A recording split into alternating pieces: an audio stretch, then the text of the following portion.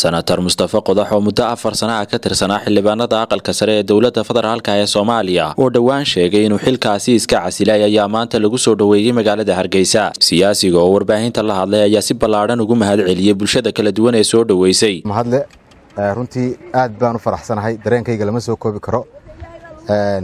Muddo afar sanno iyo hal bil ah oo aan ka maqnaa magaaladii aan ku barbaaray magaaladaydii hargeysa caasimaddii somalilan inaan maanta ku soo noqdo oon laygu soo dhoweeyo aad iyo aad baan runtii ugu faraxsanahay.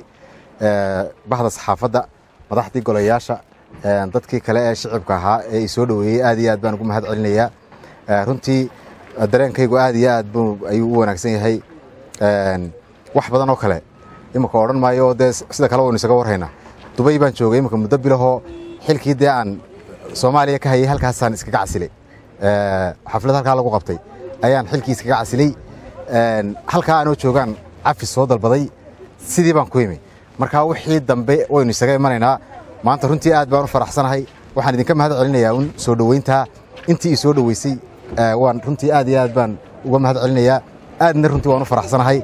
Dareenkayga lama soo koobi karo runtii farxadda jawiga iyo dee muuqaalka hargeysa ii samaynaysa maanta iyo dadkeedu. Runtii aad iyo aad baan u faraxsanahay. Waynu isu iman doonnaa bahdiina saxaafaddana aad iyo aad baan runtii idinku mahad celinaya. Waayo runtii de waan ka mahad sheeganaya. Aad bay ayay iila shaqaynayeen. Oo bulshada igu dhiirigelisayba runtii inaan inaan ku soo noqdo dalka. Qayb dhiirigelinteyda waxaan leeyahay macnaha soo noqoshadayda qayb weyn bay ka ahaayeen.